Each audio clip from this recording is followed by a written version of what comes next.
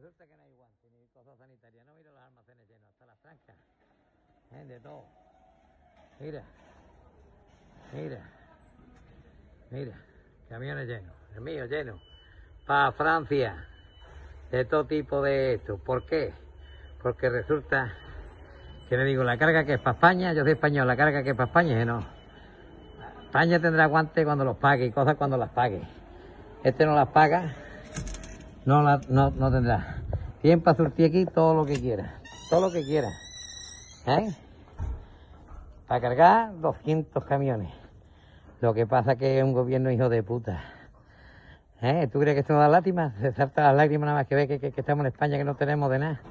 Y nos carguen para Francia. Porque España no paga, España a los chinos, a lo barato. Qué vergüenza, señores, qué vergüenza. Yo no digo nada. Yo no soy de ningún partido político. Ahí lo tenéis. Más pruebas ya. Ya sabéis quién manda en España. Un asesino en potencia.